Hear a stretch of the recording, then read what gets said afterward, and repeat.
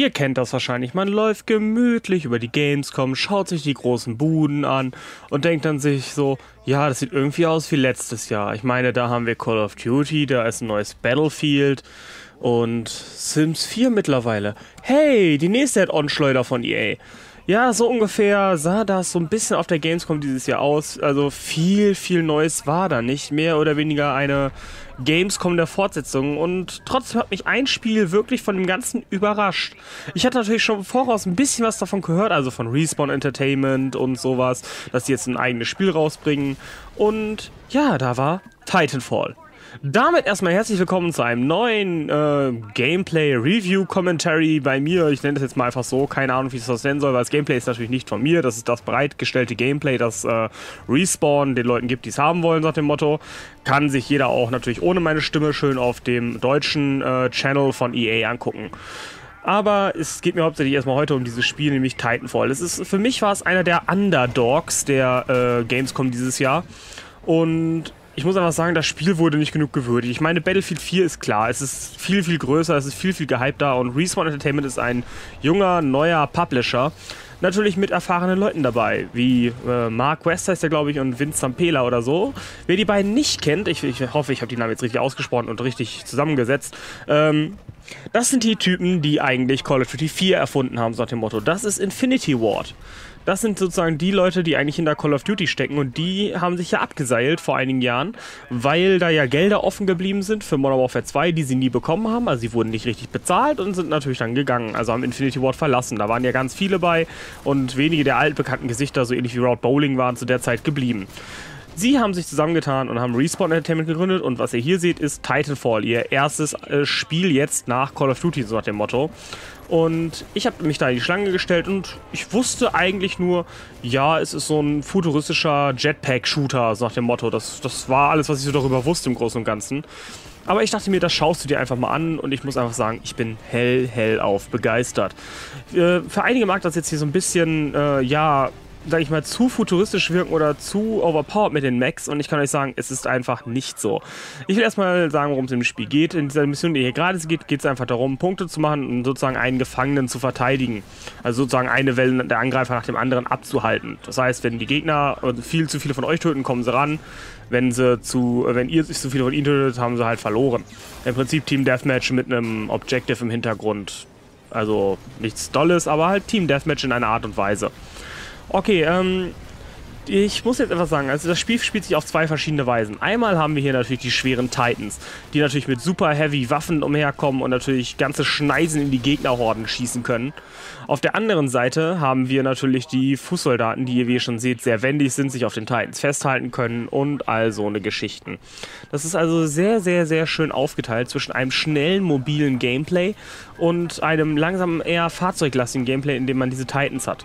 Es gibt nicht, natürlich verschiedene Titans, es gibt Anti-Titans Titans, es gibt äh, Anti-Bodeneinheiten Titans, es gibt äh, alles mögliche an verschiedenen Titans. Es wurden nur drei auf der Gamescom gezeigt. Das waren jetzt die drei, die ich so genannt habe, so gerade in dem Sinne.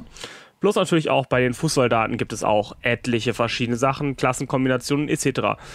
Ähm, wir haben vorgefertigte Klassen äh, zugesandt bekommen. Ich denke mal, im späteren Spiel, da es von den Call of Duty-Machern ist, wird man wahrscheinlich auch seine eigenen Klassen generieren dürfen. Aber da waren solche schönen Sachen bei, wie zum Beispiel der ähm, Sneaky, Sneaky äh, Scout sein, nenne ich jetzt mal. Ich weiß den Namen, den die da gar nicht mehr hatten, äh, so genau. Auf jeden Fall, jede äh, dieser Fußsoldatenklasse ist mit einer Anti-Titan-Waffe ausgerüstet, die verschieden gut Schaden macht. Und diese Anti-Titan-Waffen hat also wirklich jeder dabei auf der 3. Man hat zwei Primärwaffen. Als äh, dritte hat man immer die Anti-Titan-Waffe dabei. Das heißt, jeder Soldat kann auch wirklich einen Titan fertig machen. Und dank der Mobilität, die dabei ist, ja, wie soll man das so sagen, ist es auch schwer für den Titan, die manchmal zu treffen, wenn man sich geschickt anstellt. Das heißt, es kommt wieder viel auf ähm, Skill an, wenn man gegen diese Titan kämpft.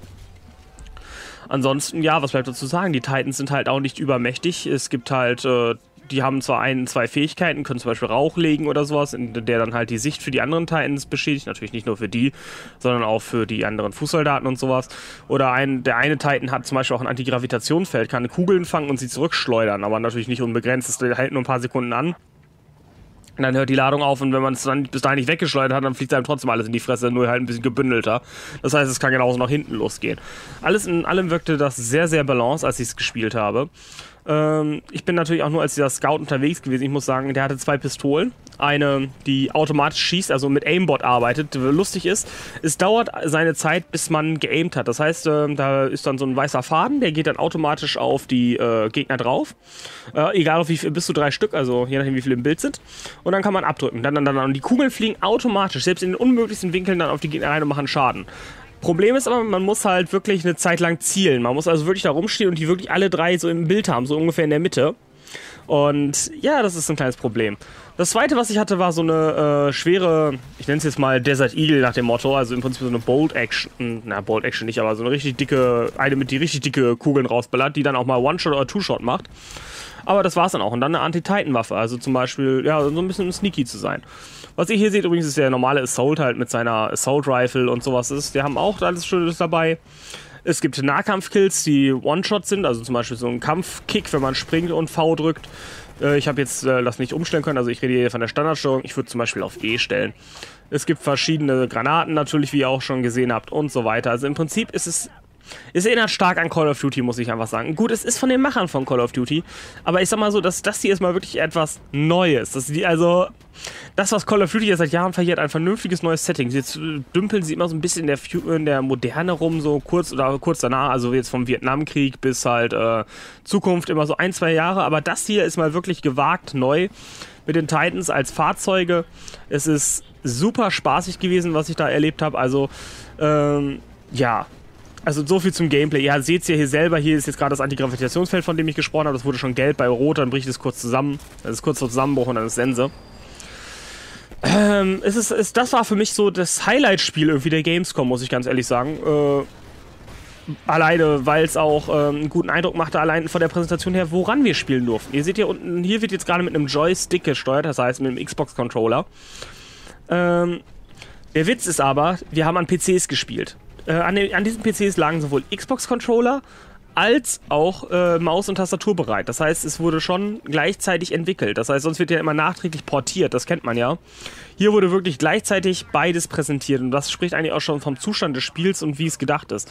Natürlich ist es das hier natürlich, denke ich mal, schon auch Xbox One und äh, so kompatibel.